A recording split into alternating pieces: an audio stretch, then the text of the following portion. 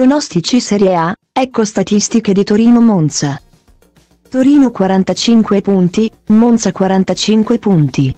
La sfida tra queste due squadre parte in perfetta parità e, vista la posizione di assoluta tranquillità in classifica da parte di entrambe. I presupposti per una sfida a viso aperto sembrano esserci davvero tutti.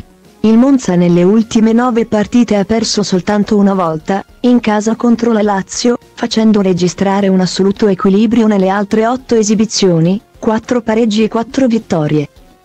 Un ruolino di marcia recente migliore rispetto a quello Granata che, nello stesso arco di giornate, ha perso in tre occasioni a cui vanno aggiunte quattro vittorie e due pareggi.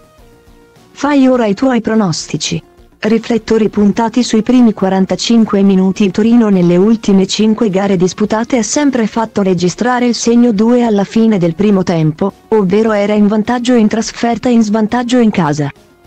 Un totale che arriva a 7 se si considerano le ultime 8 partite. Un dato che fornisce lo spunto per ricordare come al contrario, il Monza al termine della prima frazione di gioco ha visto uscire soltanto un paio di segni uno negli ultimi, addirittura, 17 incontri disputati, era in vantaggio.